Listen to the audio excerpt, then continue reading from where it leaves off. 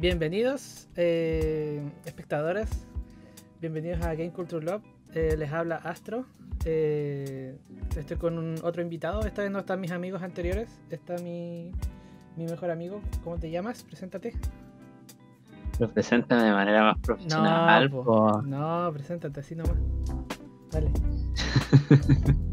Ya, mi nombre es Boris Grado, soy estudiante de Ingeniería Civil Informática, eh, escritor aficionado y bueno, también un aficionado de, de las historias en general, porque no solo los juegos tienen buenas historias, las buenas historias pueden venir en muchos formatos, pero la gracia de los juegos es que los puede vivir uno desde la perspectiva de uno mismo. Nos vive en carne Ah. propia. Algo así. Pero eso, eh, siempre es como un, una... eh, es lo, a ver, es un- hay muchas maneras creativas de contar historias y los juegos ofrecen muchas, muchas maneras de contar. El lib- los libros ofrecen muchas formas de contar igual.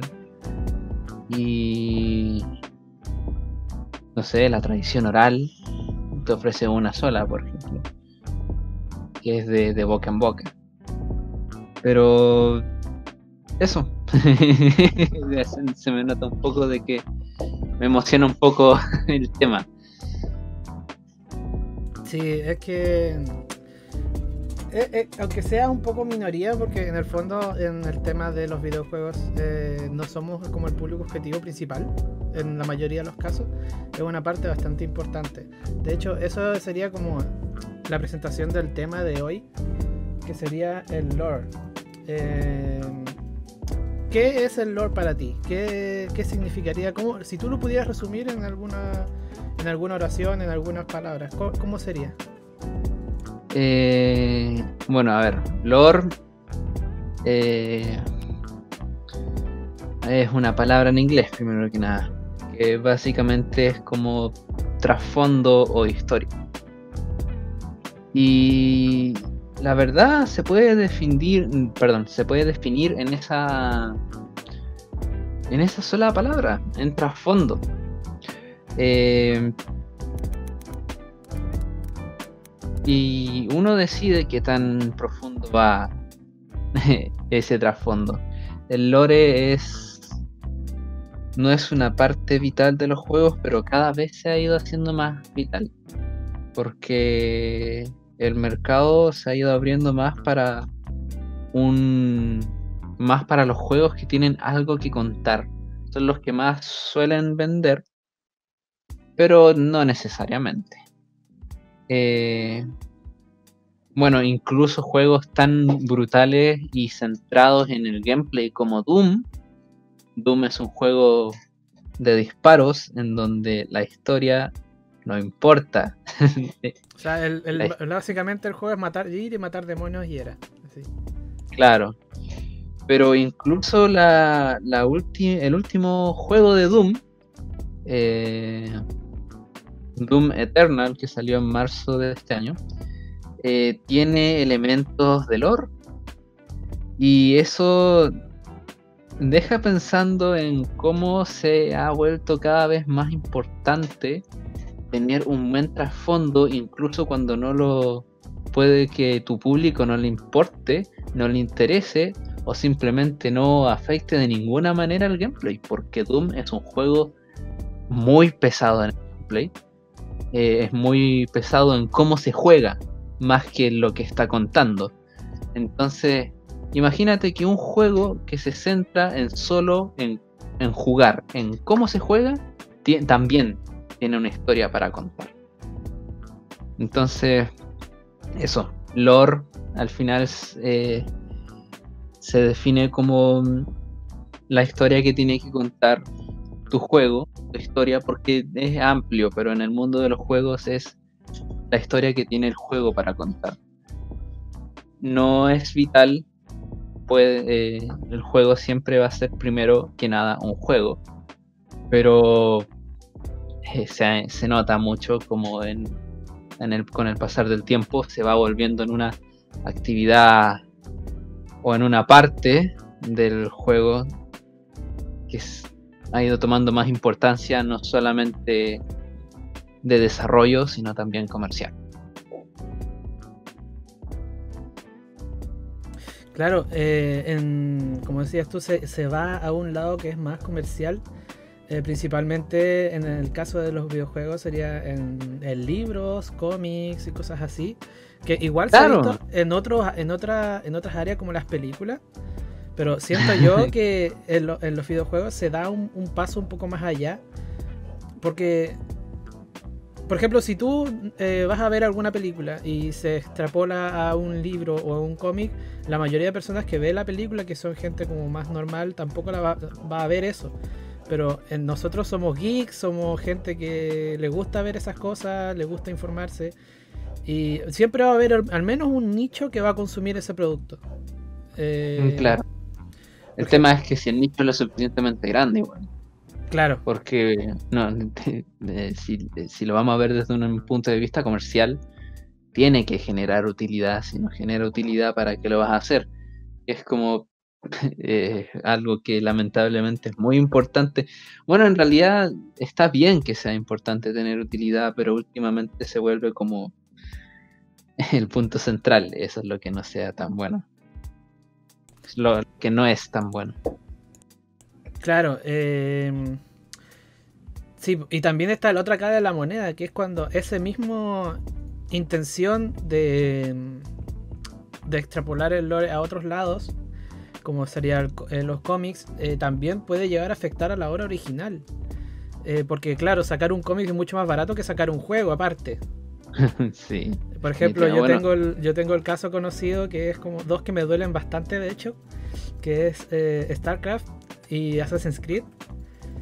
Eh, más Assassin's Creed que StarCraft, porque StarCraft ya prácticamente terminó su historia en el 2, cuando sacó la explosión de Ayur. Pero en Assassin's Creed, como es una historia que se va contando em, en raíles, o sea, no se tiene como una estructura básica, eh, llegó un punto en el que la historia del presente ya no importaba. O sea, eh, eh, de hecho, el Assassin's Creed Origins, que es como el origen de los asesinos y los templarios. ¿El, ¿Es el, que salió el año pasado de Egipto? El año antes pasado, creo que fue. O año antes, antes pasado. No me acuerdo muy bien. Pero fue, el, pero fue el egipcio, ¿no? Sí, el egipcio, sí. Es básicamente un relleno. Así, no importa en el presente. El único presente que hay es como una tipa que es como la protagonista nueva que está viendo los pasados porque sí, y ya. Es que no, no tiene otro trasfondo. Por ejemplo, el Assassin's Creed 4 también, el Assassin's Creed Rogue también, que el protagonista ni siquiera tiene nombre. O sea, eres tú y ya. Entonces, claro, es que sí. Eh, ahí, estamos en, en, el área que estaba diciendo recién, un juego no necesariamente necesita lore para funcionar. Eh, es una pérdida eh, indudablemente, porque eh, dan sustancia, dan más cosas que hacer. Porque en las, las primeras tres títulos de Assassin's Creed tenías un lore muy bueno, aparte, no, no solo el del pasado, sino también el del presente. Em, pero y la verdad sí, es difícil pensar de por qué lo dejarían votado en, en, ciertas palabras. Dejaron el lore de Assassin's Creed eh, votado. Pero también tienes que pensarlo de, de otras maneras. Eh, trata de, de mirarlo desde los desarrolladores de que no solo tienen que pensar en cómo va a ser el juego, sino que tienen que ponerse o tienen que contratar a otro equipo de escritores para que piensen eh, cómo la historia tiene que ir integrada en el juego también. Entonces eh, son cosas que van sumando y son piezas de un puzzle que a veces no encajan bien. Y, y se entiende, es una pérdida, indudablemente, eh, y en especial si es por una, si lo están haciendo con una compañía que es grande como Ubisoft, eh, pero que lamentablemente, de nuevo, el, mundo está girando cada vez más alrededor de la plata y y los juegos no son excepción. Entonces, ¿para qué contratar otro equipo de, de escritores cuando solo necesito mi equipo de diseñadores de, de, juego? Así que quitemos el lore y mejor concentrémonos en el juego. Eh, si hubiera sido cualquier otro juego, está bien, a lo mejor. Si hubiera sido como un juego nuevo, piola. Pero era un juego que venía, una franquicia de juegos que venía con una historia que contar. Y, la dejaron ahí. Entonces es como una movida definitivamente cuestionable. Claro, porque si quitas el, el, presente, básicamente el trasfondo del pasado o el contexto histórico de cada juego que vayan lanzando es como ir a ninguna parte. O sea, es como vivir el contexto y ya. Pero en el último juego, Assassin's Creed Valhalla, eh, como que fusionaron, o sea, unieron todas las tramas del presente también y del pasado de todos los otros juegos anteriores. Entonces ya eso fue como un gran, un buen sabor de boca que lamentablemente tuve que verlo por YouTube porque no, no, no lo tengo. Eh, pero eso. El otro caso también es de StarCraft, que básicamente la último que tuvimos de videojuegos en historia eh, relacionados fueron unos DLC que sacaron de Nova, que es una fantasma. Eh, los fantasmas son como humanos que tienen como poderes psíquicos y básicamente son entrenados desde pequeños para fusionar como personas que se vuelven invisibles. parte fundamental del ejército, básicamente. Y sacaron nuevos cómics que realmente yo creo, yo creo que casi nadie conoce. O sea, yo ni siquiera los he leído, solo sé que existen. Entonces, es como. Pero es que. Vamos. Cuando tienes una historia que ya terminó hace tantos años. Porque cuando. cuando a ver, ¿cuándo fue que StarCraft? Cuando salió el último DLC? Eh, a ver, déjame buscarlo. Estoy acá en el este. Déjame ver.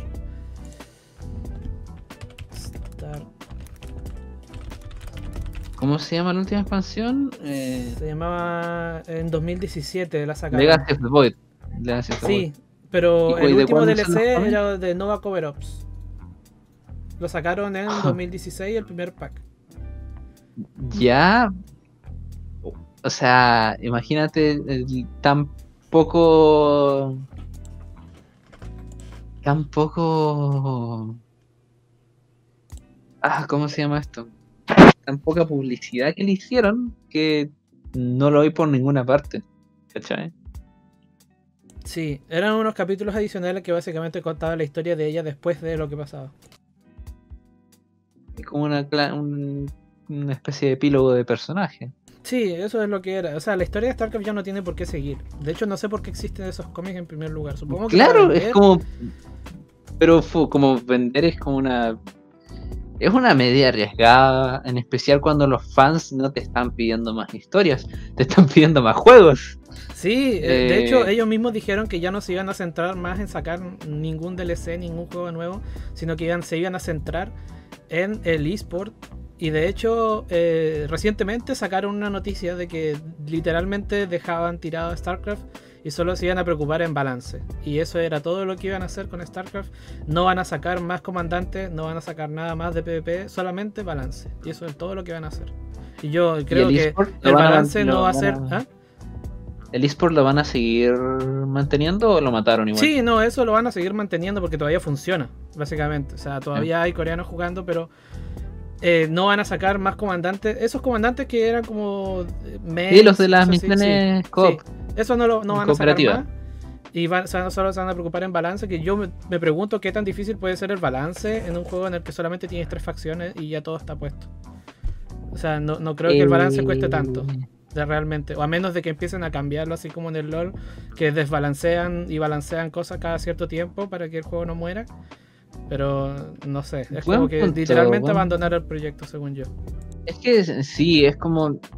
StarCraft es un juego terminado. de hecho, es un juego medio muerto, diría yo, porque lo mataron cuando sacaron la segunda expansión. Cuando nacieron un montón de estrategias tóxicas por problemas de desbalance. Eh, como justamente, justamente fueron los problemas de desbalance que trajo ese, ese contenido descargable. Que Cade mató y desanimó a una gran parte del, de la población de jugadores que tenía el juego y se fueron y no volvieron. Entonces, de ahí ha ido en decadencia y ahora donde no vas a volver a sacar más contenido es raro, está como en modo mantenimiento se suele llamar eso. Como por si sucede algo y sí, hay un equipo que se va a encargar de arreglar los problemas que pudieran surgir. Pero es un poco triste. Sí, al menos StarCraft terminó su historia. Eso es lo, claro, bueno. Al menos la terminó. No como otro juego que vamos a hablar ahora, que es. Eh, no es, WoW. De WoW vamos a hablar un poquito más adelante. Vamos a hablar de Overwatch. ¿Qué te parece lo que, pasa, lo que ha pasado con Overwatch? Overwatch es una tragedia. Es una tragedia de juego. Eh, que prometió mucho, empezó muy bien y luego. Luego, mira. StarCraft, World of Warcraft, Overwatch, Heroes of the Storm. Son todos juegos que murieron por el mal manejo que le dieron sus desarrolladores. Su empresa, su empresa madre, Blizzard, eh, los, los mataron de alguna u otra forma. StarCraft tuvo este contenido descargable. Eh, HOTS forzaron una, una escena de esports que todavía no, nacía y la forzaron y, mataron el juego tratando de crear un esport. Y, así se murió. Eh, por cierto, World of Warcraft por cierto, a, esta fecha, 22 del 11 del 2020, van a, anunciaron que van a sacar un nuevo evento y probablemente salga Joker en el juego. Así que si la gente quiere ir a probar, que debería ir a probarlo. ¿Joker? Sí. Van a meter a Joker, parece, y en un evento, eh, en algún evento nuevo. De hecho, eh, a lo mejor lo pongo aquí en pantalla cuando lo esté quitando. Mm. Así que, bueno. También pone una imagen de Joker comparado a, no sé, Ragnaros. Por favor, porque es como. Tiene, hay un hay un cast, hay un montón de personajes en ese juego que son como muy poderosos y luego tienes ese Joker. Joder, lo voy a dejar ahí que la imagen hable por sí sola. Pero ya. Y, bueno, y Overwatch, eh, o sea, WoW está en decadencia. Y Overwatch murió porque metieron un personaje nuevo que no supieron balancear. Y se murió el juego. Y se murió. Y fue terrible. Básicamente. Eh, mataron, mataron todo, todo el juego. Eh, su escena eSport, eh, su escenario competitivo, sus juegos casuales, mataron todo con un solo personaje y no lo supieron sobrellevar y destruyeron su juego y, y su masa de jugadores, su población de jugadores se desplomó y fue horrible. Y aparte de eso, es que por eso digo que Overwatch es una tragedia. Es un juego que quería centrarse, que te prometía una historia interesante, pero que las partidas no tenían nada que ver con la historia. Tenías a, veces como guiños que, que, entre los personajes que se encontraban entre partida y partida y se, se decían cosas y se burlaban entre ellos. Pero, pero la historia no iba a ninguna parte. No avanzaba nunca. En ningún momento, nunca avanzó. Claro, y entonces tienes eh, y en ese momento tu juego solo depende del gameplay. Y el gameplay iba más o menos bien. Y, o sea, todos los juegos tienen una manera como óptima de ser jugados.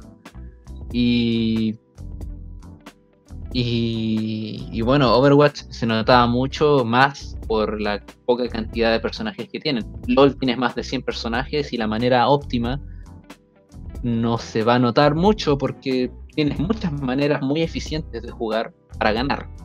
Pero en Overwatch, cuando tú tienes 15, 16 personajes, la manera óptima es como muy obvia. Y bueno, cuando tu, cuando tu juego depende solo del gameplay y vas y metes un personaje que no avanza en casi nada la historia. Y, y que más encima genera un escenario tan desbalanceado que ya tu punto fuerte se vuelve tu punto débil, tu juego murió. Claro. ¿Y qué, te queda? A la historia. No hay historia. Y no hay historia. Ese es el problema. De hecho, mucha gente ha pedido desde siempre, ha pedido campaña claro, o serie. Y, desde el principio, desde el principio habían estado pidiendo una campaña y no la tiraron nunca. Y, después hacen esto de Overwatch 2 va a venir con campaña. Y es como, pero vas a hacer un segundo juego una cosa que con una cosa que debiste haber metido desde el principio. Entonces da mucha rabia con la empresa. Da mucha rabia con Blizzard. Además, el Overwatch 2 va a ser compatible con Overwatch 1. Así que no, hay muchas razones para. Si tú solamente quieres jugar y ya, no hay razones para comprarte el 2. O sea, solamente la campaña. Y es como un DLC. La única diferencia del Overwatch 1 y, el 2 es la campaña, el diseño de personajes, que básicamente es parecido, es casi igual. Y aún no se sabe nada. Y vas a comprarte otro juego entero, 45-60 lucas por una campaña, por algo que normalmente te costaría entre 5 a 10 lucas. Bueno, pero eso ya es como. un, poco más. Bueno, de nuevo, en realidad, de nuevo, el, el, las historias al servicio del comercio. Entonces, da mucha pena, da mucha, mucha pena ver que. que las historias vayan como por ese camino. Yo entiendo querer comprar un libro, un libro caro. Un libro caro, un libro caro te puede salir 30 eh, lucas, 45 lucas.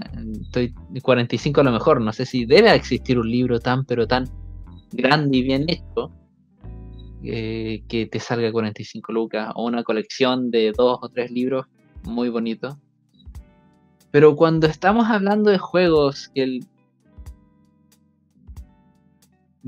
es distinto, ¿cachai? Es, eh, es otra manera de contar historias y también es otra manera de verlas. Como hablan, hablando de nuevo de lo del principio, los juegos no son todo historia. En, eh, o sea, sí, hay juegos que son todo historia. Eh, pero, en, estos casos que son como multijugador y cosas así. Claro, en especial en un juego multijugador, eh, la historia tiene un, un plano súper secundario que puede ser importante para atrapar jugadores, pero sigue siendo secundario y el gameplay sigue siendo lo más importante y que te vendan una historia que tiene que ser un elemento secundario a 30, 45 lucas, entre 30 y 60 lucas por una historia. No, así no funcionan los juegos. Así no funcionan los juegos. Los, juegos no son un libro. Y, y bueno, yo creo que las empresas entienden eso. Pero quieren ganar plata de todas maneras. Claro. Aunque yo, ojo, yo creo que Overwatch no es un tema tanto de que se guiaron por la plata y se fueron por otro lado, sino que yo creo que es más un tema de mala gestión. Y de un downgrade narrativo importante. Porque al principio la mayoría de personajes eran súper carismáticos, sí, eran bastante cliché, cosas así, todo lo que tú quieras, pero eran carismáticos. y llegó un punto en el que no sé si solamente me pasó a mí, que los personajes que empezaron a salir de después siento que son muy poco imaginativos y las cinemáticas que sacaron después son malas. Por ejemplo, la cinemática de Diva es una de las peores cinemáticas que yo he visto que se relacionan con Overwatch. No me genera absolutamente nada. O sea, literalmente. es que, Diva, Diva, Diva, es un mal personaje. Sí, en general. Pero, pero, por ejemplo, no sé. A Tracer y a, Widowmaker le dieron una buena, un buen origen al soldado también. Y el soldado es lo más, lo más cliché que hay. Es un soldado, literal, es un soldado. No tiene nada interesante más allá de los lentes. Entonces, bueno, no sé. ¿Y que es eh, gay? No, pero eso ya es otro tema. Pero no, siento que sí que hubo un downgrade importante, pero también es que es un tema de más. Sí. entiendo con lo de las cinemáticas. Punto, hubo un punto en donde esto empezó a pasar porque. ¿Te acordáis cuando estaban anunciando de juegos de como de de consigue la pista y todas esas tonteras? Disculpa, ¿puedes repetir que se te bajó el volumen al, al micrófono? Ah, está bien. Em, que te, te, acuerdas que Sombra eh, tuvo como una especie de cacería de, de pistas, cacería de huevos, como búsqueda de huevos. No, no me acuerdo de eso. Pascua. Bueno, eh, fue fome, por eso no te acuerdas. Porque nada. ah, eh, como que lo, hicieron y, fue fome y entonces no, se habló mucho. Pero la cinemática, cuando salió Sombra y salió con su cinemática, te ofrecía un, un personaje que prometía más y que no dio más nunca. Sí, de hecho, el, tema el tema con Sombra es que es un personaje original. De hecho, eh, tiene bastantes puntos en términos de marketing porque tú cuando ella te hace el boop, no te olvidas nunca más de Sombra. Claro, claro, porque tiene tantas cosas eh, que son de ella, que la marcan como personaje. El boop, eh, como cuando le pone el dedo en la nariz a la, la jefa de la empresa, a la jefa rusa, a la empresaria, a la jefa empresaria rusa y, como si nada va y le aprieta la nariz y dice, se va, eso es personalidad. Eso es personalidad. Como una de que está todo bajo control. Te lo dice, te dice de que ella tiene bajo, todo bajo control solo con su con su actitud y con su personalidad. Y eso es un buen personaje. No, eh, Diva Diva te tiene que decir las cosas que eh, ella. y, te tiene y, se lleva bien con todos y, te, y le restriega el. O sea, no. No es que te restriegue la cara que es buenísima y todo, pero. Que lo hace. Es un personaje súper plano. Es que, Diva, es básicamente fanservice y ya. Eso es todo su personaje. Claro. No tiene otra caracterización. Y es, un es una manera tan absurda, así como era una jugadora profesional de StarCraft y de por hecho, eso, la seleccionamos como, como y, por, y, por, eh, y por eso en la historia, según eso, por ser tan buena jugando StarCraft, la eligieron para un programa militar. Ya, ok, podemos, podremos tratar de hacer la vista gorda, pero sería la, la vista obesa pero que luego sea un personaje sin fallas, donde como la única falla que tiene es que se exige mucho, ya es como se está acercando mucho al territorio de, personaje perfecto, personaje Merichu. Merisu, sí. Y que es básicamente los personajes que no tienen fallas y hacen bien todo y son muy, muy aburridos. Y, y, y Diva está un paso atrás de eso. Entonces no, es como mal, mal. Eh, tenían una cinemática tan buena con, con Sombra y luego van a explorar el personaje de Diva y en realidad no lo exploran. Solo muestran más de lo mismo. Ese, es mi problema con la cinemática de Diva. No exploran nada de ella.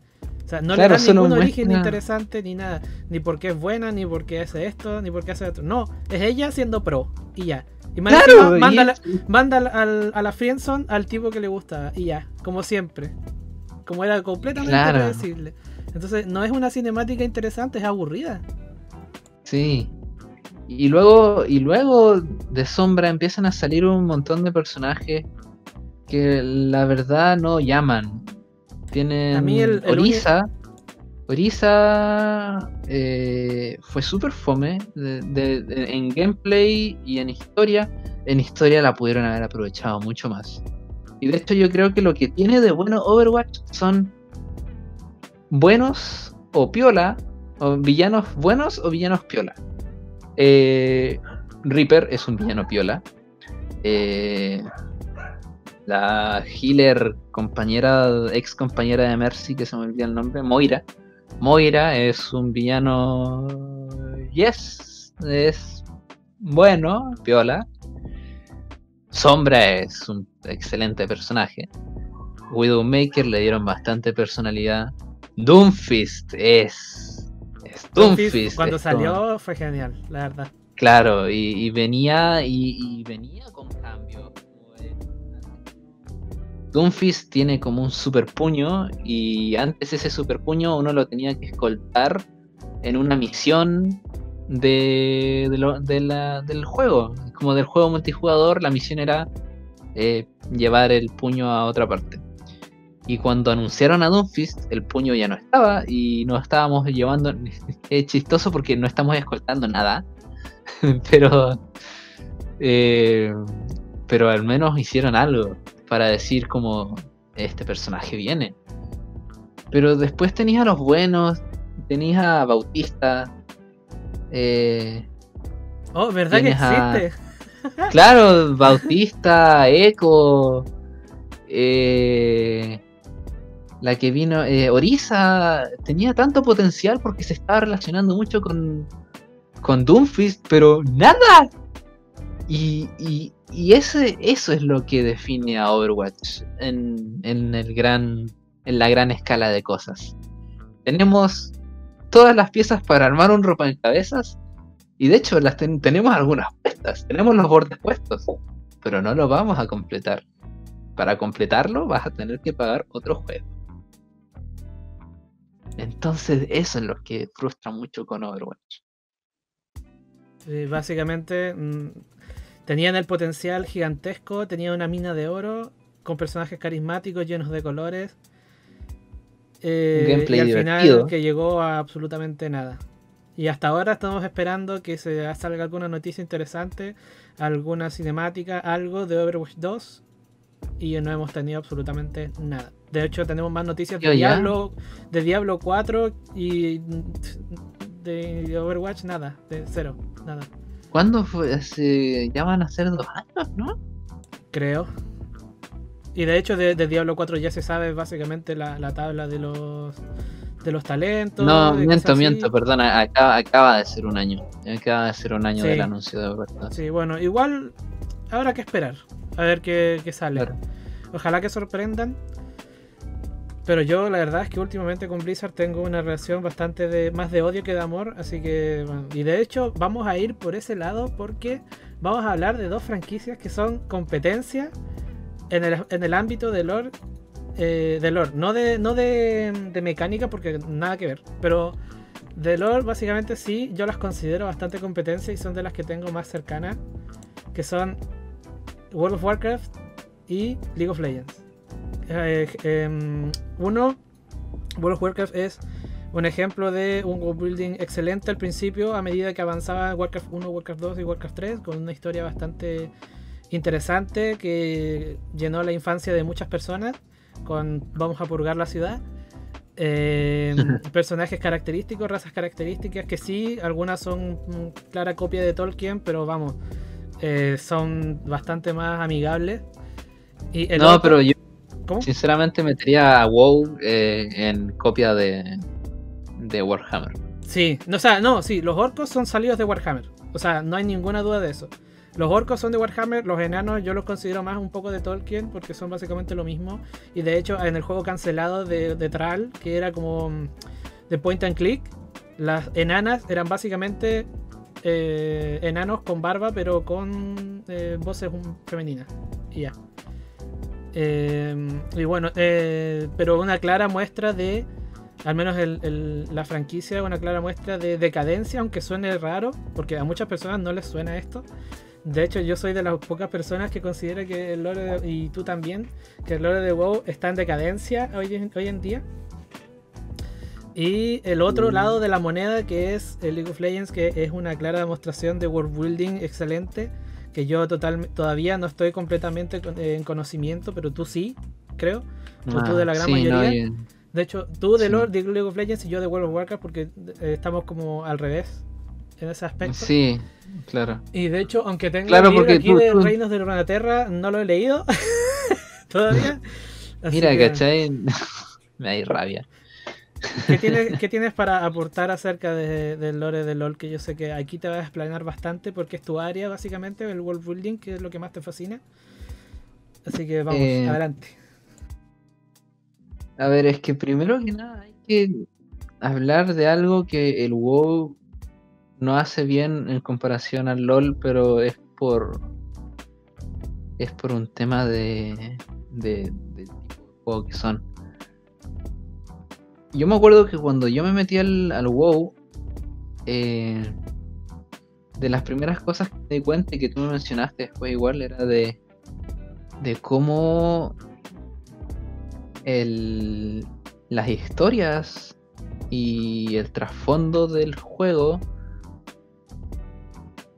no uno se perdía en el juego. Es como eh, uno cuando empieza a jugar WoW te entregan las misiones con las que el juego empezó. Y luego te entregan otra misión.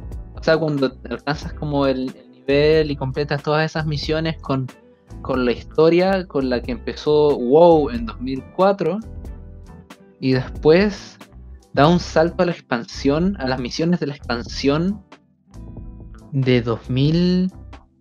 Eh, eh, ¿Cuándo 2010? fue Cataclismo? 2010. Eh, entonces, te- yo me estaba súper confundido porque era como, pero acabo de terminar una misión y tenía que hacer otra cosa, pero ahora me dicen que esto, que es como muy distinto, con otro villano, con cosas que no conozco. Entonces se genera una... No sé si es la palabra correcta, es disonancia ludonarrativa. Espera, de La nuevo, de nuevo, palabra- que se te bajó el volumen. Ahí para ponerla bien. Disonancia ludonarrativa. Esa es la palabra, ¿no? Sí, o sea, no estoy tan seguro que sea así. Yo creo que es más como un desorden, desorden cronológico en dentro del juego que confunde mucho a la gente nueva. Claro, entonces era como. Empezamos con la historia de la. Y, y esa Pero de mis- nuevo- de esas misiones se acaban. Que en, en el WoW empezamos con la. con las misiones. eh, con las misiones de la primera expansión. Y luego. eh, avanzamos. Las terminamos. Y empezamos con las misiones de la cuarta expansión. Entonces uno se pierde, se pierde un montón porque te falta un montón gigante de la historia de qué es lo que rayos pasó. Entonces, eh, e incluso te mencionan lugares que ya no están. Y es duro entender al principio qué es lo, qué es lo que pasó y después uno se puede enterar. Y, y después uno puede seguir con la historia en el presente, en donde estamos ahora. Pero sigue siendo un problema que existe y que creo que lo van a arreglar ahora. Pero igual, estaba. O está todavía. No, estaba. O sea, ahora últimamente se. Con el preparche No, se añadió una opción de básicamente estás en Orgrimmar, llegas a nivel 10 o en Ventormenta, en la zona capital de la facción que tú elijas. Y está Chromie esperando en, uh, y te mandan una misión para hablar con ella. Y es ella la que te manda a alguna expansión del pasado, porque te lo dice, esto ya pasó. Vas a una expansión anterior y ahí le subes los 40 niveles que te quedan. Para volver a Shadowlands, que ahora va a salir mañana a las 8, así que... Bueno, entonces como medianamente arreglaron este problema. Como para, en vez de, Básicamente hicieron como, en vez de hacer que tengas que recorrer por todo lo que ya sucedió mientras vas subiendo de nivel, te, te dicen, elige una historia donde subir de nivel. Y eso está piola. No- no- no creo que sea la mejor de las soluciones, pero tampoco tengo mejores ideas. Así que, Muy buena solución creativa. Ahora, lo que hace el LOL. El LOL, el League of Legends, siendo un juego eh, de combate meramente jugador contra jugador, dijo, yo no, no me voy a meter en ese problema. League of Legends empezó siendo un juego que tenía porque tenía su gameplay entrelazado con, eh, con su historia. Su jugabilidad se explicaba con la historia. Pero luego eh, Riot Games, que Riot Games, que son los dueños de o los desarrolladores, mejor dicho, de League of Legends, eh, cortaron todo y, hicieron un borrón y cuenta nueva gigante.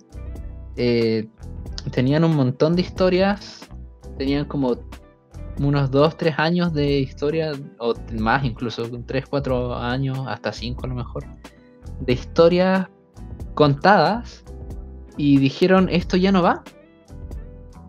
Y separaron el, y separaron el gameplay, separaron la jugabilidad completamente de la historia.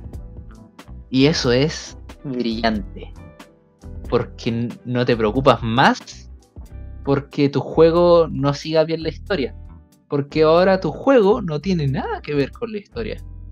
Puede, y, y eso te abre un montón de puertas que has sabido aprovechar muy bien. Antes uno, cada campeón, cada personaje tenía una pequeña biografía y había como un diario semanal donde se describía o se contaba cómo los personajes interactuaban entre sí. Y eso era súper piola, era muy ameno, eh, daba una sensación de un mundo que se movía. Em, y. Pero después eh, todo, todo eso se fue y, y ahora en vez de como ser, ya no existe ese diario, por ejemplo, eh, ya no todos los personajes se conocen entre ellos y eso está bien, está genial porque te permite hacer separar las historias también. Eh, como, los, como pasó al principio en, con Warcraft, cuando Warcraft todavía no era World of Warcraft, eh, tenía historias individuales que se iban entrelazando en historias más grandes. Y es lo que está haciendo ahora el, el League of Legends, pero de manera completamente opcional y, y de manera completa, como básicamente están escribiendo un libro. Bueno, básicamente ya escribieron un libro con, con lo que está sucediendo con los personajes del juego. Mientras el juego sigue sin ningún problema, pueden hacer los cambios que quieran pueden meter los personajes que quieran porque da lo mismo, lo que pasa en el juego no pasa en la historia. Y, y eso te da muchas libertades. Tienes un montón de personajes únicos, unos más que otros, unos más interesantes que otros, unos más importantes que otros. Eh, en las historias, pero en los juegos todos son igual, o sea, todos tienen una, una chance de brillar. Puedes tener un ratón matando a, a un gigante con un arco, un gigante de piedra. Entonces. Eh, ahora es discutible. Ahora es, bastante discutible. sí, pero, pero sabes a lo que voy. Eh, eh, eso no pasa en la historia, pero da lo mismo porque el juego es el juego, es la historia es la historia. Y, y eso también les permitió crear un mundo súper cohesivo y coherente. Tiene eh, con facciones y con. y con un mapa, ¿cachai? ¿Sabes lo increíble que es tener un mapa para tu mundo? Y, colocar de dónde es cada personaje y contar las historias de cada personaje en la localidad que te dice el mapa es brillante y es súper bueno y es, diría yo, está en camino al nivel de Tolkien. Que sinceramente pasa pasa de largo porque no es, no es solo una persona, es un, equipo grande eh, contando una sola historia y de hecho que a veces genera algunos problemas, pero que de nuevo son tan profesionales que, que incluso esos problemas los terminan explicando y arreglándolos de alguna manera. Y eh, es una... Yo creo que pasa desapercibido porque el juego es tan gigante, pero... Y al final el juego es lo que se lleva tu atención y es de donde sacan toda la plata. Pero me gusta que hayan sacado un libro, porque eso quiere decir de que están pensando en monetizar sus historias. Van a sacar una serie. No sé por dónde la van a sacar, pero me imagino que va a ser gratis o por o por el mismo canal de YouTube, me imagino. Entonces es como están avanzando en la historia gratis, sacan música gratis, sacan eh, eh, historias alternativas gratis. O sea, eh, es increíble y me, me fascina, me fascina el mundo que han creado porque tiene reglas, es un mundo con reglas que no rompen. Cuando se rompen las reglas es porque algo, algo importante pasó. y eso es, yo creo que uno de los grandes aspectos de crear un mundo, un mundo real, entre comillas, o un mundo creíble, de que tienes reglas y tienes un porqué para, un porqué para las cosas. ¿Por qué, eh, ¿Por qué H, que es una, H es una líder de una tribu en el norte, donde hace mucho frío y ella anda con minifalda? ¿Por qué H anda con minifalda en el frío polar? Bueno, porque es una nacida del hielo y los nacidos del hielo no sienten frío. Y cachai que esos detalles tan chicos que vienen de problemas de mucho antes. Es, dentro de los primeros personajes que salieron. Y. Y la diseñaron de una manera súper genérica. Una arquera de hielo con minifalda y, sin, sin, mangas. Y, y, luego viene este equipo de, de escritores y dice, eh, bueno, ahora vamos a hacer que todos los personajes, eh, que todos los personajes nacidos del hielo no sientan frío. Y H es una nacida del hielo porque tiene un arco de hielo. Y, y ¡pum! De repente todo tiene sentido. H, H no, no anda con ropa más agregada porque es una nacida del hielo y H eh, y su marido, que también es un nacido del hielo, anda sin polera por todas partes, aunque hagan menos 20 grados, porque no siente frío. Y así sigue y, sigue, y puedo darte mil ejemplos de cómo es un mundo coherente y de, y de por qué a mí en lo personal me gusta ser tan quisquilloso con qué es lo que se puede y qué es lo que no, y qué es lo que necesita explicación y qué es lo que no porque sinceramente todo en cierto punto necesita una explicación. Eh, y porque si tienes un elemento importante o que puede o, cotidiano incluso, porque no las cosas cotidianas son importantes en mundos de fantasía. Cuando tienes una cosa que es cotidiana o importante eh, puntualmente, eh, me refiero a como si es importante porque no, pasa a menudo, pero es algo que marca un punto en la historia. Eh, esas dos cosas son igual de importantes a la vista del world building. Si tienes una cosa cotidiana sin explicar, eh, tienes un problema constante. Pero, y al mismo tiempo, si tienes un, un momento vital en la historia sin explicar, tienes un hoyo en tu, tienes un hoyo en tu trasfondo. Entonces, eh, son cosas eh, vitales que el League of Legends ha logrado manejar bien. Eh, ¿Por qué no hay magos en Demacia? ¿Por qué? que es algo cotidiano e importante a la vez. ¿Por qué hay alas de ángel por todas partes en Demacia? por qué Churima adora el sol. Eh, y bueno, estoy mencionando un montón de, naciones que tienen algunas características súper eh, super propias de, la, de su cultura y todas tienen un origen. Todas las actitudes cotidianas, todas las acciones cotidianas, eh, todas las acciones trascendentales cada una de estas naciones tiene una explicación. Y eso lo hace tan creíble, lo hace tan coherente que uno es muy fácil meterse e imaginarse en, en la historia.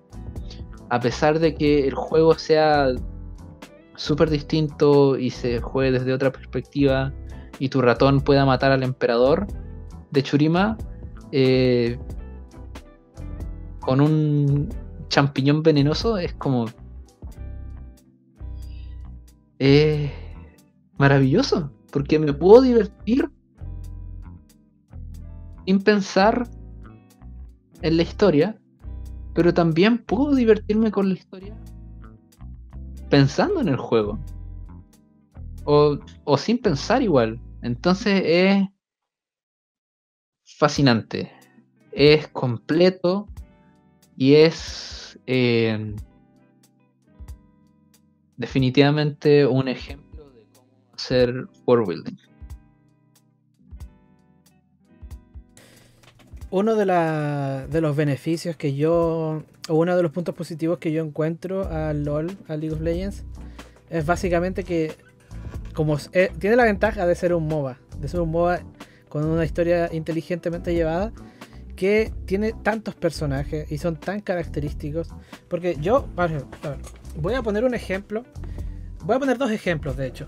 Voy a poner em, uno que no es un juego y otro que sí. Por ejemplo, eh, Dragon Ball Super tuvo una saga del torneo del poder. Que era básicamente eh, como que era, no me acuerdo ahora muy bien. Pero eran varios universos que se disputían, se peleaban entre ellos. Y el único que quedaba era un Battle Royale de, de un torneo, básicamente.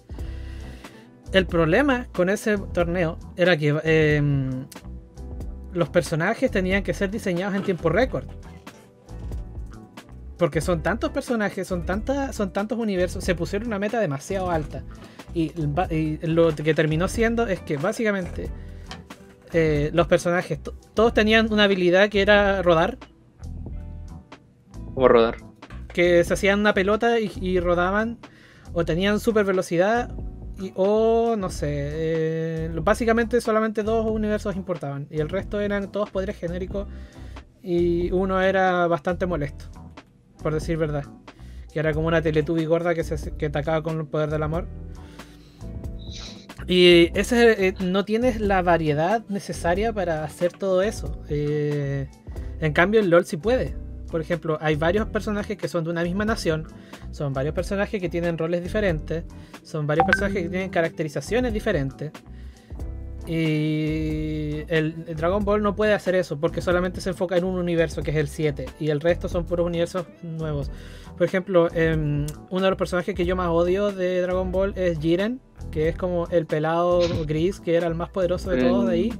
Es que Dios mío, es, la historia es malísima, es la, una de las peores historias que he visto. Es una carcasa, es un cuando intentaron explicarle el pasado duró 5 eh, minutos y era un niño que le mataron a la familia y por eso quiso hacerse más fuerte y ya. Esa es toda su historia. Entonces, ese es el problema. Otro problema que yo, eh, otro ejemplo que puedo dar es Warcraft, que básicamente se han, ido matando personajes cada vez que ya, por ejemplo, los orcos no tienen personajes importantes y el resto son puros eh, personajes genéricos que no importan. Los únicos orcos que quedan en el, en el huevo son Tral y Atrix. Que apuesto que tú no lo conoces. ¿Ves? Es un orco viejo que eh, protagonizó una de las novelas que se llamaba, que era de Metzen, que eh, él la escribió. Eh, creo que es una novela corta que es de Tyrion y de Atrix. Que básicamente que se hacían amigos y todo eso. y es vieja, es como de Warcraft 3, no me acuerdo muy bien de qué época es. Pero es como... Eh, eh, te quedas sin personaje, pero también yo tengo un problema con el LOL. Y te lo voy a decir aquí, enfrente tuya. Que básicamente es... Bueno, ahora no se lo puedo quejar tanto. Porque ya te voy a decir por qué. Pero es que básicamente no pueden matar a ningún campeón. Ah, es imposible. no pueden matar a ningún campeón. Porque si matas a un campeón, su fanbase se va a enojar y se te va a tirar al cuello.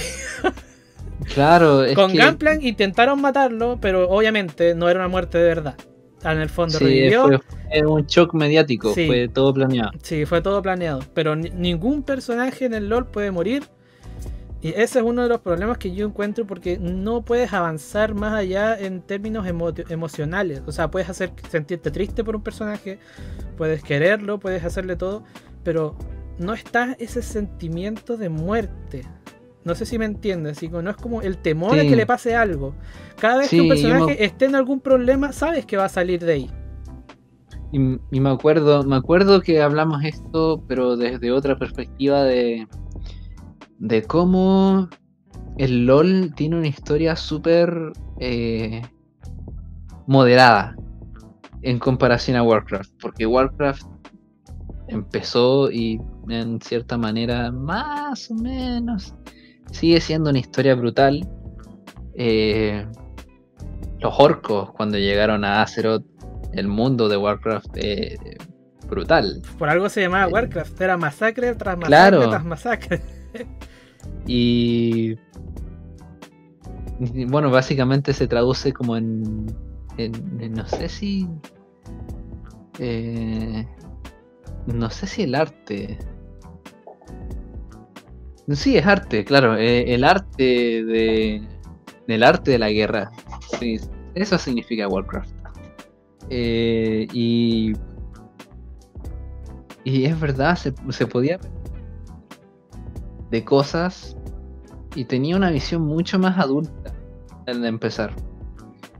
Y ha ido perdiendo eso porque tienen que hacer plata y la plata viene al tratar de meter la mayor cantidad de personas a tu juego.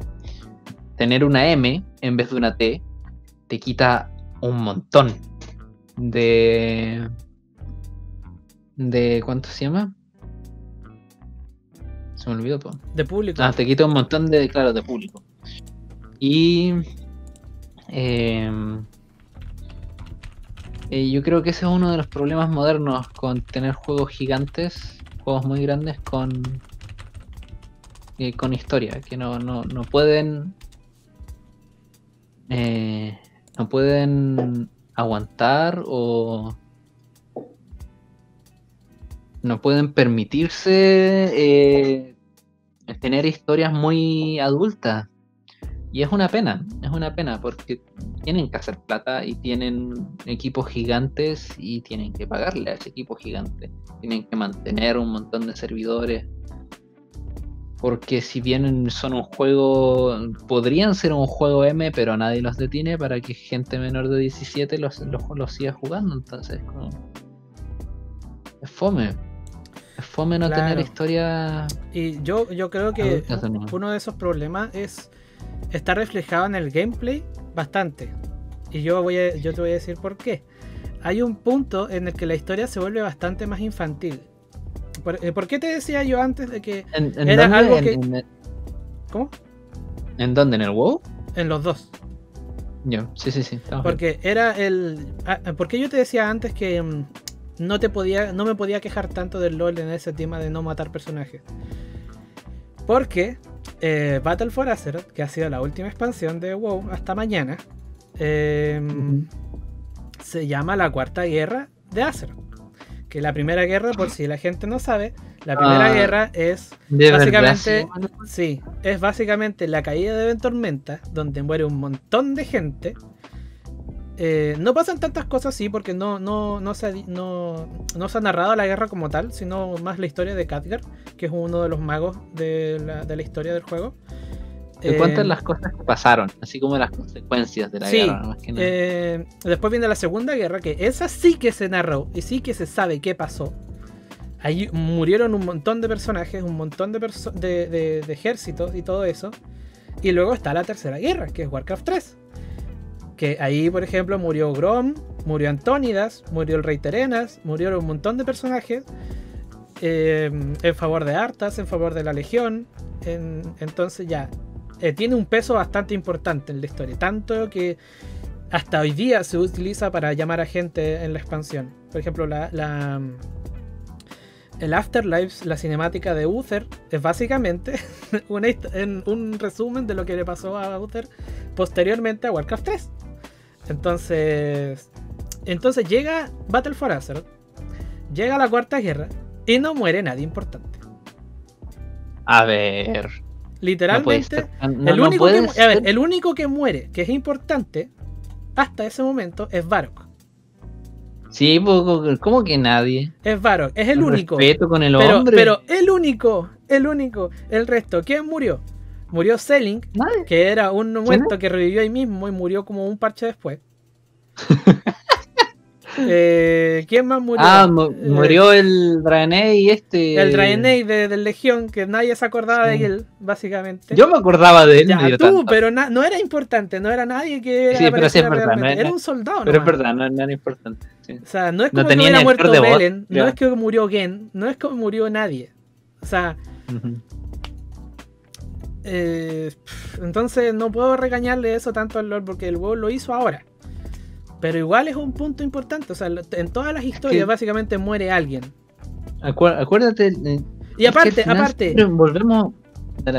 Pero aparte, el, la muerte de Barok se venía anunciando desde que empezó la expansión. O sea, es como se veía venir de 80 kilómetros. O sea, no me puedes decir que es una muerte realmente tan, tan, tan emotiva cuando ya la ves venir. O sea, es como, ya sé que voy, se va a morir. Ya, me lo, ya lo asimilé. No siento nada. Eso es lo que al menos a mí me pasa. No sé si a ti te pasa algo similar. Entonces, en el, en el LOL. Eh. Y, ah, y lo que te venía a decir, que se refleja mucho en el gameplay. Que las personas, el público mayoritariamente, le gustan más los personajes o las cosas bonitas. Sí, no, y eso a mí me lastima mucho a mí también me lastima bastante. Por ejemplo. Pero tú eres parte del problema, no te hagas el loco. Yo sí, porque yo tengo todas las skins de Lux. Entonces. a ver, ¿y quién es Lux? ¿Quién es Lux? Es un, plagio de, es un plagio de H, pero que es maga. Y ya. Eso es todo lo que es mm. Lux. Ya, a ver, calma. Voy a, voy a echarte el agua. Voy a echarte la boca. Porque tú. Tú compras y tú juegas solo con personajes femeninos. Que no es femenino, no sí. Pero no, a ver, ¿qué maineas? Dime tus mains. Pero, pero juego Yasuo ahora. Ya sí, pero hace como. Mira, si hubiéramos tenido esta conversación hace cuatro meses. Sí, lo sé, ah, ya, sí, entiendo, entiendo. pero, pero, pero, a ver, eh, hablemos de esto, hablemos de esto porque es importante. Eh,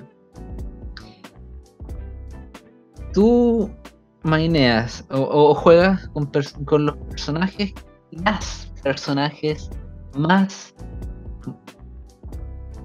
occidentalmente bonitas, por así decirlo. Bueno, es que en realidad, a ver, como sociedad no hemos armado un estereotipo de mujer bonita.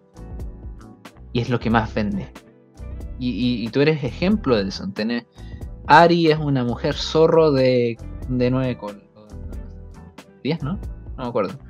Pero es muy bonita. Son nueve. Son eh, eh, Caitlyn, una policía en, minifalda. Eh, ¿Qué más? Ya, pero yo no juego Caitlyn. Ya, ¿qué juega? Jinx. Bueno, te, te, felicito por jugar Jinx. Jinx es una. Es una. Es un personaje femenino. Sin pechos. Es completamente plana. Y eso eh, fue un, aire de aire, un aire de aire fresco, muy bien, un respiro de aire fresco porque eh, en su momento fue, y todavía lo es en realidad, eh, fue un diseño muy novedoso, con don, pero que le fue súper bien porque lo que vendió fue su personalidad.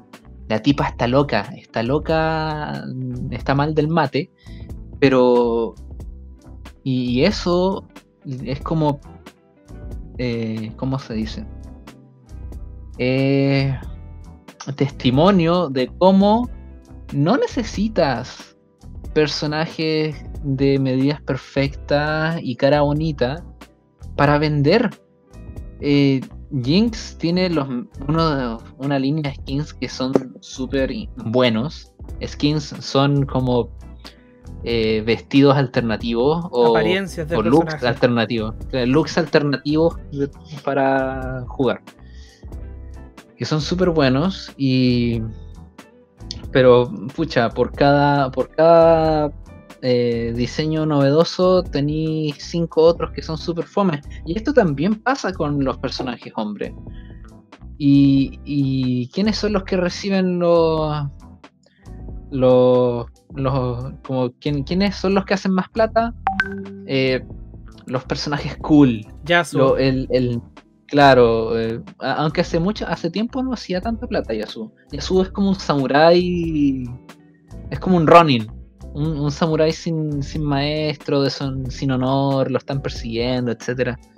Y mucha gente lo jugaba, pero no, no le sacaban muchos, muchos skins.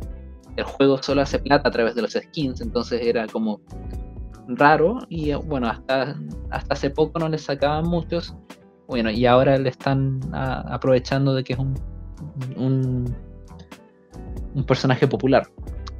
Pero eh, hombres ideales, eh, que como hombres bien machos, por así decirlo, no necesariamente musculosos, pero que uno esperaría de ver de un hombre.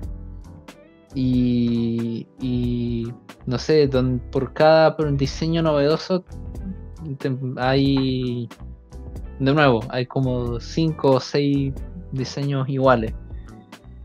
Y en términos de diseño se vuelve algo aburrido definitivamente en términos de, dulce para... El, término en, inglés se dice eye candy, eh, que es como dulce para la vista. En términos de eso uno no se puede aburrir. Lamentablemente yo admito de que eh, me atraen los diseños tanto de, los hombres como de las mujeres porque son lo que la sociedad nos ha enseñado a que nos guste. Eh, y es fome tener que seguir así. Y que, los y que los personajes y diseños que son más novedosos, como los monstruos o las mujeres grandes que no siguen los estereotipos, hay un, uno de los personajes menos ocupados en todo el juego, se llama Ilaoi.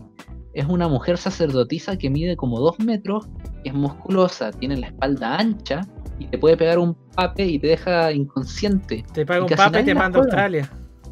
Claro, entonces es como. Y a, nada, a casi nadie le gusta jugar con ella. Y tiene un kit de habilidades que es, interesante, es entretenido, pero por su diseño nadie la pesca mucho. Em, los monstruos. Los monstruos son uno de eh, los personajes monstruos son de los que menos plata hacen porque a la gente no le llama la atención. La gente, la masa, ¿qué es lo que quiere? Quiere eh, mujeres bonitas y quiere hombre, hombres cools con los que poder verse reflejado porque recordemos de que casi 90% de la población de League of Legends es hombre. Y esto, bueno, la verdad no afecta a la historia, pero no, en, cierto sentido sí, porque quienes reciben más historias? Los bonitos, personajes bonitos. Y atrás se quedan los monstruos. Eh, y. Y eso, es fome. es fome, pero. Eh, es, una, es un reflejo de nuestra sociedad. Un reflejo de, de dónde estamos ahora. Y si bien, bueno, no tiene mucho que ver con la historia mm, eh, como directamente, pero es. Es importante notarlo. Es importante notarlo porque, pues. Eh, crea una. Crea un ambiente poco diverso. Y un ambiente poco diverso en términos de world building es aburrido. Por suerte no hemos llegado a ese punto todavía. En League of Legends ni en, ni en World of Warcraft. Pero si seguimos así, de para allá vamos. Y es, preocupante. Por lo menos.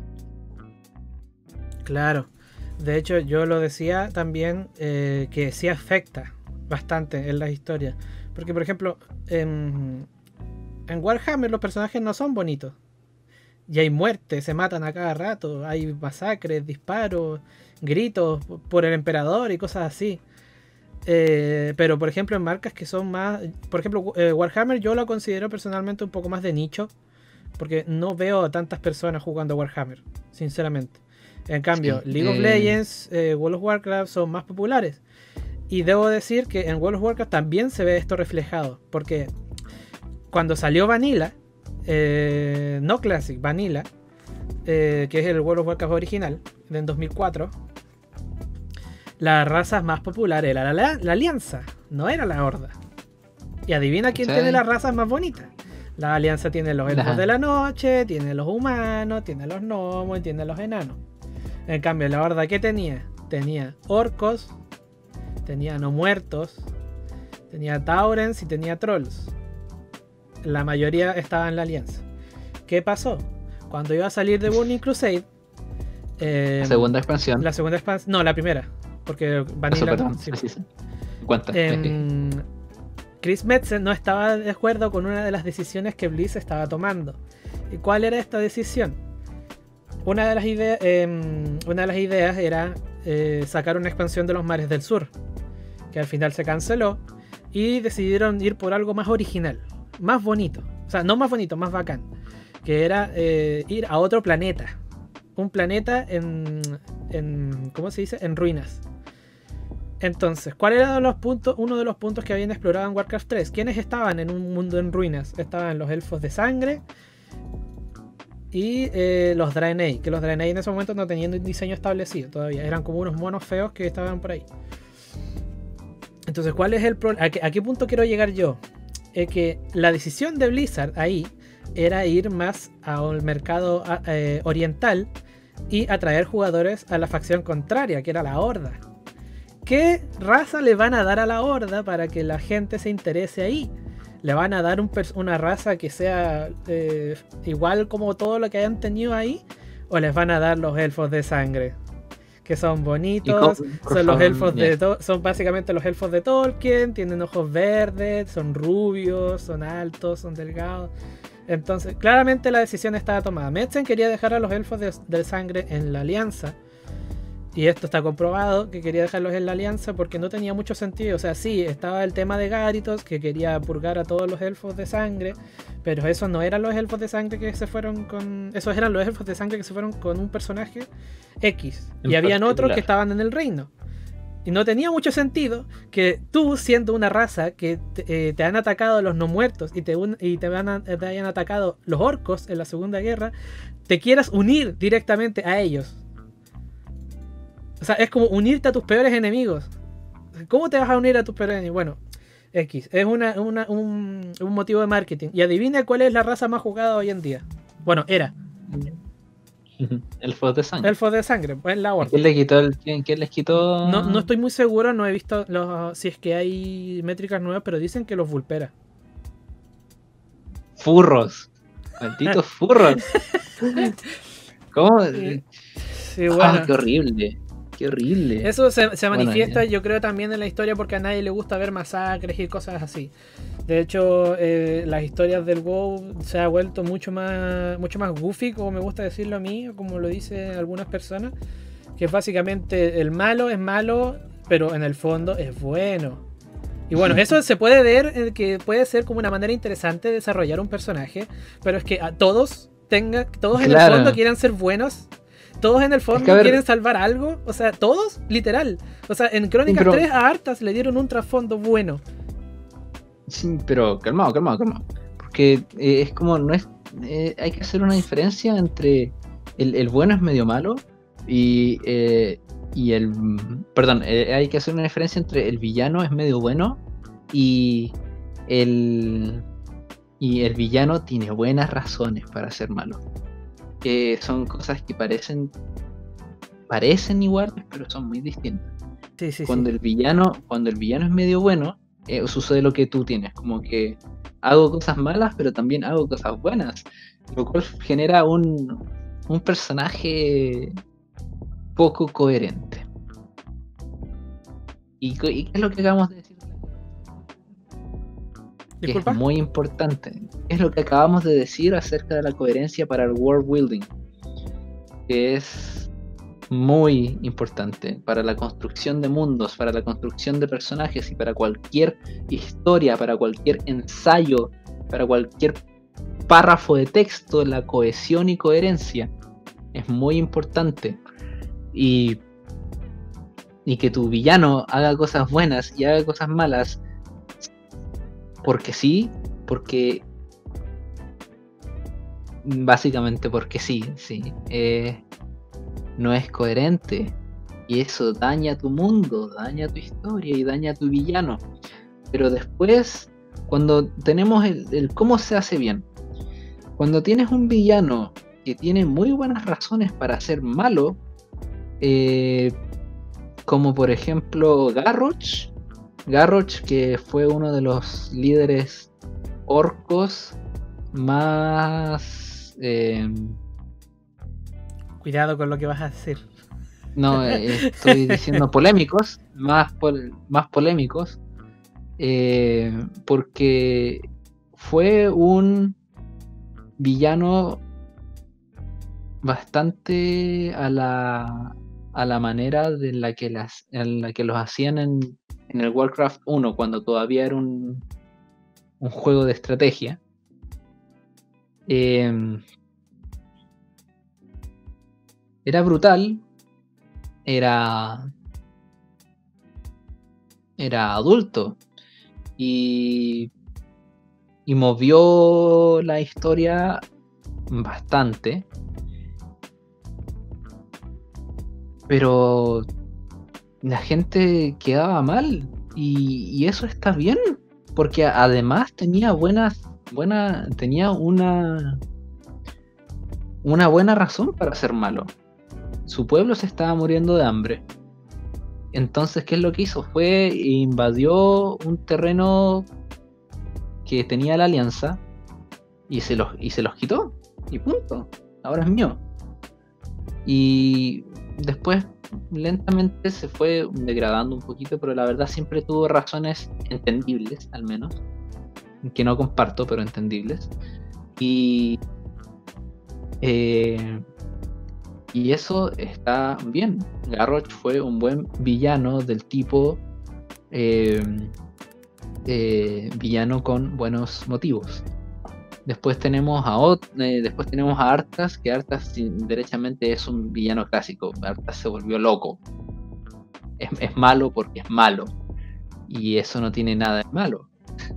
en el sentido de que de que tu malo sea de que tu villano sea malo porque sí, eso es feo. Pero que tu villano sea malo porque porque algo sucedió y ahora no, no atienda ninguna lógica, eso, eso es, eso es, bastante un comienzo sólido. Entonces es como tienes estos villanos irredimibles. Arthas es un villano irredimible. Es una persona que se que enloqueció, hizo un montón de cosas malas y no le importó.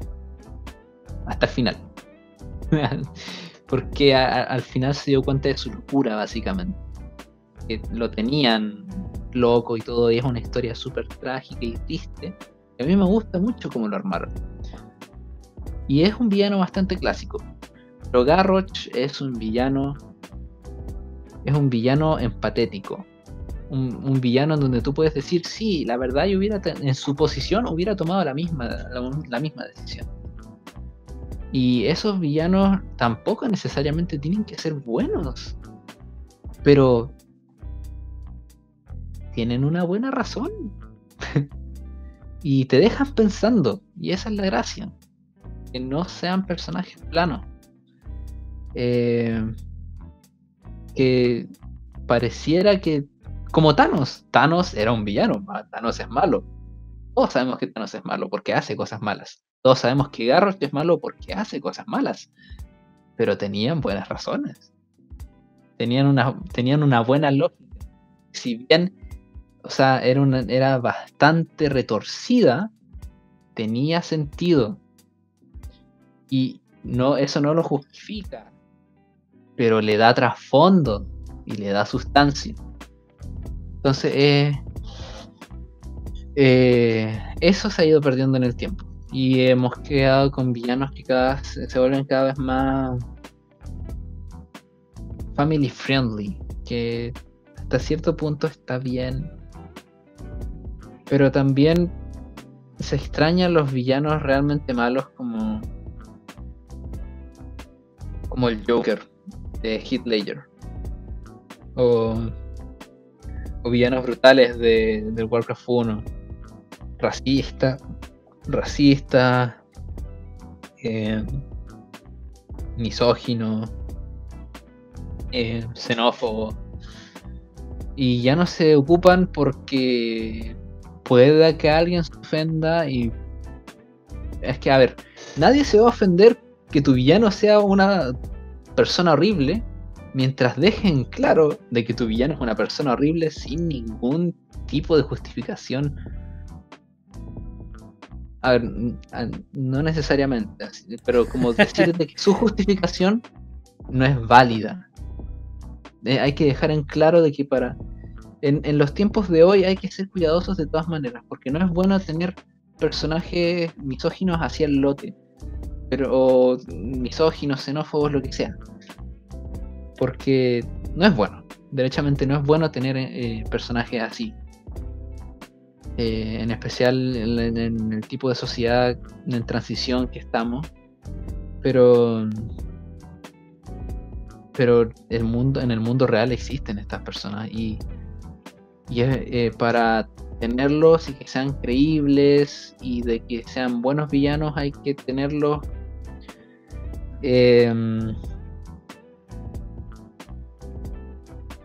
hay que tener en, hay que tener en cuenta de que hay que dejar bien en claro de que mi malo es malo y de que sus razones no son buenas, de que sus razones son, de que sus razones tienen sentido, pero que no son buenas, de que las cosas que hace son malas, de que las actitudes que tiene son malas, dejarlas explícitamente dichas si es necesario y tener un héroe que contraponga al menos o, personajes, no necesariamente tener personajes y contrapongan a la maldad eh, homófoba, misógina, xenófoba que tenga tu villano.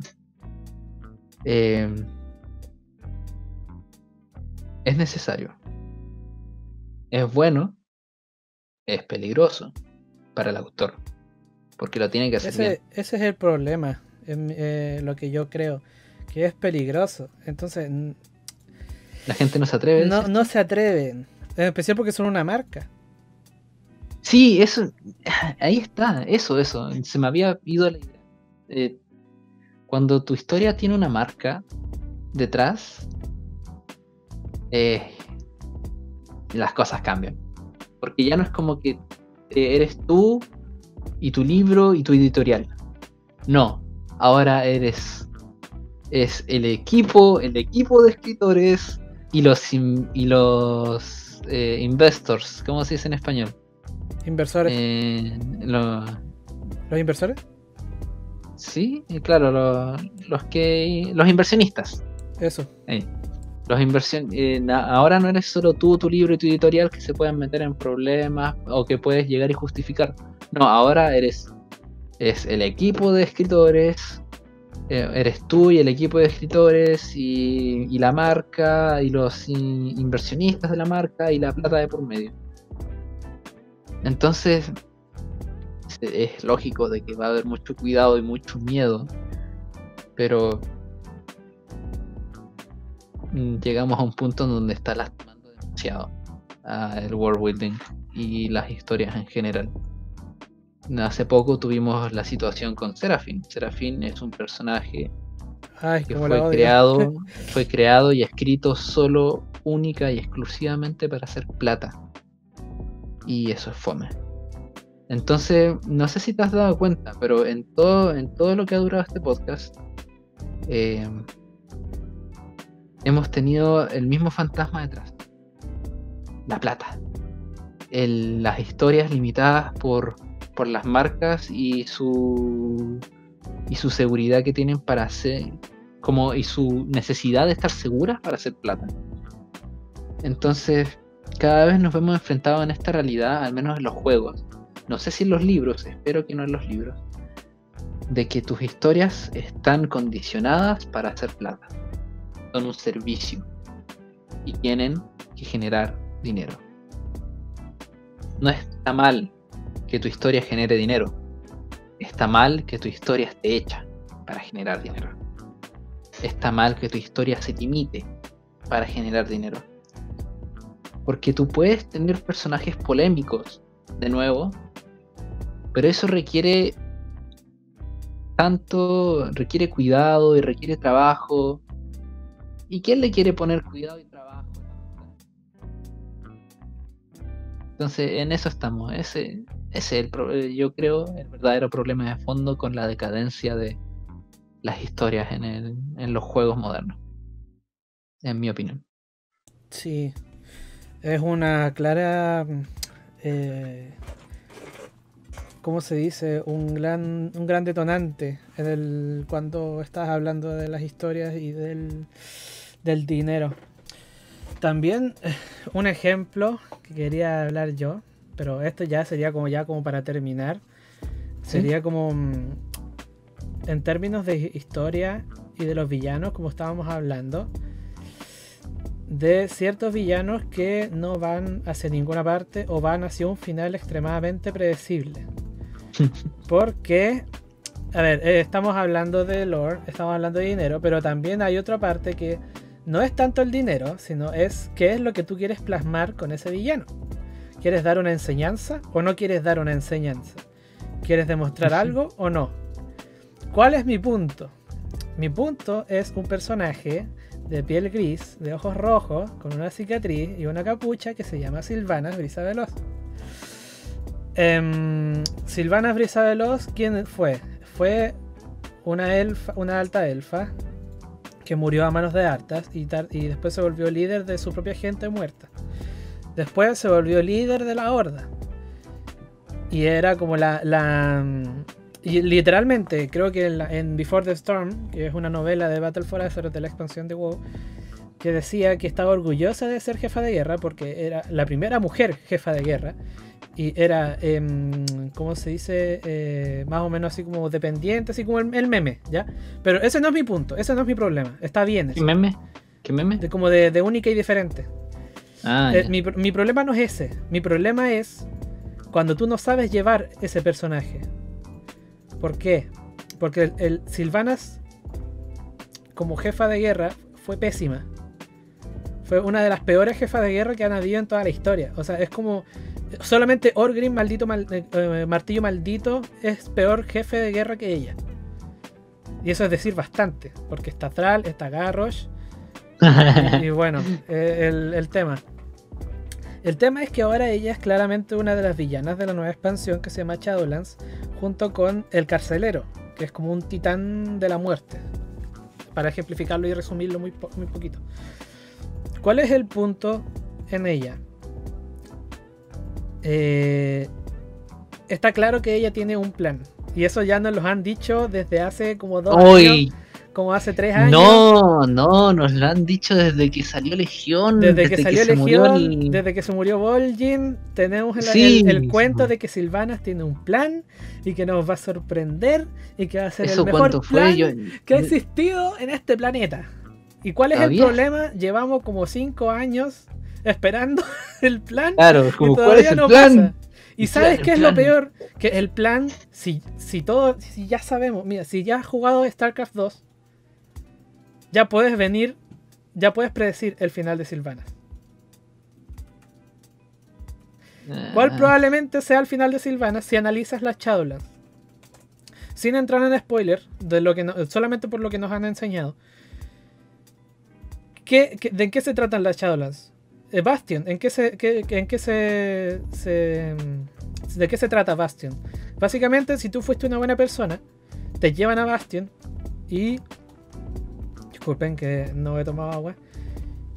Em, tu trabajo desde ahora será llevar las almas mortales a Shadowlands. Ese es tu trabajo de por vida, para siempre. ¿Cuál es el trabajo de Maldraxus? Tú revives, te llevan allá y te vuelves un soldado para la eternidad. ¿Cuál es el tema de. Bueno, Ardenwell es como el más pasable. De hecho, porque no tiene muchas no, no tiene cosas malas. ¿Cuál es el, el- el tema de. eh, ah, en. ¿Cómo se llama esta- este lugar? Es como del de los vampiros, se me olvidó. Espérame, déjame buscarlo acá, que lo tengo por aquí. Que es. Eh, Shadowland, lo tengo por acá. Eh, Revendred. ¿Cuál es el tema, el problema con Revendred? Con Revendred, tú, revi- tú re- eh, te mueres, te llevan allá. Y tú, a ti te expían por tus pecados y puedes decidir si irte a otros Shadowlands o quedarte en Revendred para expiar a otros villanos. ¿Cuál es el punto entre todos estos? Básicamente tú mueres para revivir siendo un sirviente. Porque muchas otras opciones no tienes. A menos de que caigas en Ardenwell. ¿Cuál es el Si te punto? mueres, con- si te mueres, te, te, te doble mueres. Sí. ¿Y cuál es el punto con Sylvanas? Mucha gente que ha analizado Shadowlands ya está cachando, o está entendiendo que Sylvanas va a venir y va a destruir las Shadowlands. Porque lo considera una prisión. Eh, ya, Porque, la- porque en la cinemática, en la cinemática de Shadowlands le dice a Volvar, este mundo ya es una prisión. Pero mucha gente se está dando cuenta de que quizás no se está refiriendo a Azeroth, sino que se está refiriendo a las, a las, a la- a las Shadowlands, a las tierras sombrías. Entonces, ¿cuál sería el destino final de Sylvanas? ¿Cuál sería el plan magnífico de Sylvanas? Sería como destruir todas las Shadowlands para que todas las almas mortales sean libres. Esto no está confirmado, solamente son suposiciones. Entonces ya no sería una villana. Sería como un antihéroe. Sería una antihéroe que fue blanqueada a último momento porque está claro que Shadowlands Claro. y Ba- Battle for Azeroth no estaban planeados. O sea, Battle for Azeroth sí, pero Shadowlands no. Mm, Me duelen, me duelen, me duelen. Porque eh, la cantidad de retcons que hay en Shadowlands es demasiado abismal. De hecho, es un tema para otro, para otro podcast que puedo llegar aquí Perfecto. yo y hablar de todas las inconsistencias que tiene Shadowlands. Pero va a salir mañana, así que voy a esperar mañana para, para poder leer y ver qué está pasando. Y la cantidad de redcons que hubieron con. Por eso, la cantidad de retcons que hubo, especialmente en la Horda, porque en la Horda hubieron muchísimos retcons, hubieron muchísimos problemas. Pero en la Alianza no tanto, curiosamente, no sé por qué. Debe ser porque la, la trama de Anduin la llevan planeando desde Cataclismo. Pero Es muy- eh, no sé. Entonces es un Es que problema con por los eso, pues, de nuevo, el verdadero villano es la plata. No, no es Silvanas, es el oro. Son los dólares. No los sé, pesos. porque eh, eh, el problema con Silvanas es que tiene tanto, tanta gente que es fan de Silvanas que no saben cómo darle el final, según yo. Porque si la matas, si la matáis, si la matas siendo mala, ¿qué va a pasar? Se te van a, la gente se te van a enoja. tirar al cuello. ¿Qué va a pasar? Por ejemplo, ¿qué pasó con lo de Teldrassil? Oh, no, el caos fue tan grande, las amenazas de muerte fueron tan grandes que literalmente adelantaron el corto de Barok de eh, Viejo Soldado para un jueves a las 8 de la tarde sin aviso de nadie. Cuando se supone que iba a salir antes de que saliera el, el- asedio al Hordaderón. Entonces, Ah, no sabía eso. el problema, entonces el problema es ese, cómo le das un final a un personaje querido, cómo le das un final o llevas a un personaje que se supone que es un villano, porque Silvanas desde que se murió nunca fue buena del todo. Claro, pero es que Silvanas era el- es un caso de, de villana que hace cosas buenas. Eh, que por un tiempo ca- caía bien en ese en esa Claro, ella se preocupaba por su, ella se preocupaba por su gente. Claro, porque tenía, tenía, tenía una, un buen motivo para ser como es, pero al mismo tiempo, o sea, no tenía realmente motivos para hacer cosas buenas, aparte de soy parte de la comunidad, así que estoy como obligada a hacerlo, pero uno podía entenderla al menos, así como la tipa, uno podía ponerse en su lugar como uno también se podía poner en el lugar de Garroch. Pero se la echaron. Se la echaron completamente. Se la echaron por plata. No se la echaron por no. Por no. Por no saber cómo manejarla. Ah, bueno, sí, es que, pero eso fue un, producto de, de apurar las cosas para generar plata. Si hubieran tomado el tiempo y hubieran trabajado y hubieran destinado recursos, la misma manera que destinaron recursos para las- los plots de la alianza, yo creo que la cuarta expansión ni siquiera hubiera existido, hubiera sido otra cosa completamente distinta. Y eso es lo que me lastima. De que se hayan tomado tantas decisiones para maximizar la- las ganancias que se dejó de lado la calidad. Se dejó de lado el plot de Silvana. Se dejó de lado el plot de la Horda. Se dejó de, de lado la consistencia del mundo. Entonces ahí está la decadencia por plata. Claro, entonces, sí, todo lo que tú decías es, es importante, se añade todo eso. El problema es que las consecuencias de esto van a ser bastante importantes, porque en todo el desarrollo de Silvana va a quedar en nada. Básicamente porque en Battle for Azeroth era la- como decía antes, era la jefa de guerra, y ella misma mataba a sus propios soldados para revivirlos, y que pelearan en el veneno, que es el añublo. Entonces, eso es un acto que es básicamente un crimen de guerra contra tu propio pueblo. Pero claro, no- nadie se lo echaba en cara, nadie se lo está echando en cara. Y, que, quemó un árbol lleno de inocentes. Eh, llegó a un pueblo de cultiras y lo invadió. Entonces, ¿qué está pasando aquí? Todo eso va a tener una consecuencia. El otro día estaba navegando. Ya no tuvo. estaba- Ya no tuvo. Todavía no. Ya no tuvo. No, no, No, no. ya, ya no tuvo. ¿Cuál? Ya no van a ver. Ya no van a haber consecuencias por eso. No, eso, sí. No van a haber consecuencias. De hecho, el otro día estaba viendo Twitter un youtuber que se llama Pyromancer, que es como un, un Lord Master de WoW de inglés, de habla inglesa, que se enfoca en cosmología y en teorías como, bueno, eh, en teorías que solamente la gente que se imagina, que directamente decía, si Silvanas salva a las Shadowlands y salva las almas de los mortales, no va a importar nada de lo que hizo. Exacto. O sea, imagínate, por ejemplo, que llegue Hitler y queme a un montón de judíos. Sí, lo siento, me- no, no- no- es como, un- es como- eh, lo tengo que ejemplificar. Así. Y de repente llegue, vamos, todos nos morimos y vamos al reino de los cielos. Y es como una tiranía también. Y llegue Hitler y nos salve. Yo, yo no por eso voy a ver a Hitler con buenos ojos. No sé tú.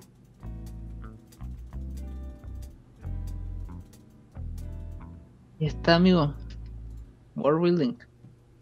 Eso es todo. El, eh, eh, el- el manejo de un villano es bastante importante y es algo que quería dejar, como al menos yo de mi parte, bastante en claro porque construir un villano es difícil.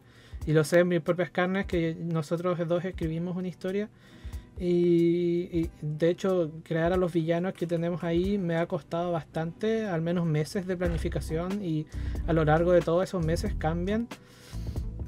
Pero son bocetos. Esto es eh, historia em, que sale año tras año y está atrás de un grupo de escritores profesionales que se supone con detrás de un sueldo y no pueden hacer esto. En mi opinión es un trabajo bastante malo eh, en relación a Silvanas. En relación a Garros también un poco porque lo arruinaron al final. Pero bueno, es lo que hay. No se puede pedir mucho tampoco.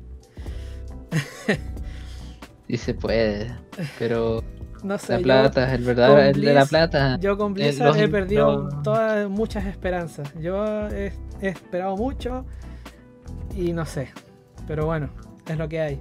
Igual estoy, eh, no me importa decir la palabra con H aquí porque yo en mi- el canal mm, todavía no tiene gente, así que da lo mismo. Ah, Bueno, sí. Pero después, Sí, no es sé. peligroso. después por último se puede mm, grabar de nuevo, sí.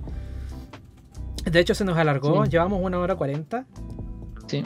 De hecho podemos, de hecho si es que ocurre algún problema con eso, se puede eliminar y regrabar de nuevo en parte de una forma mucho más organizada. Em, este es como una especie de de primeros capítulos, así que que hayan errores es normal. Eh, te quería agradecer mucho eh, que vinieras. em, que tú que conoces más de este área, por ejemplo, el resto de mis amigos no sabe nada de esto. No tengo nadie con quien compartirlo, así que se agradece bastante. Eh, el miércoles habrá a lo mejor otro podcast, a lo mejor otro video de este canal.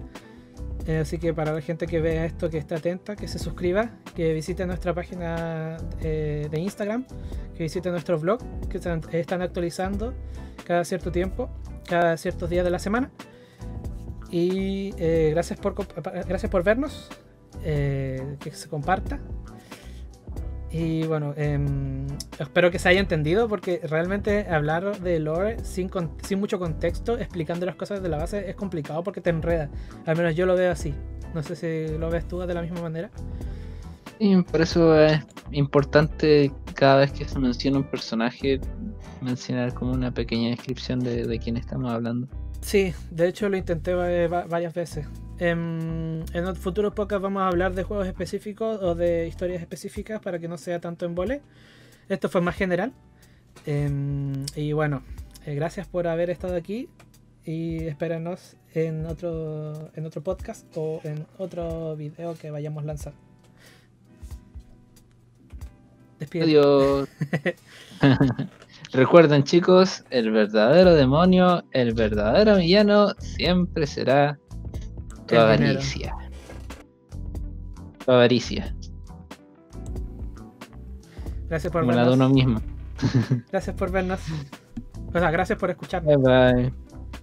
Bye bye.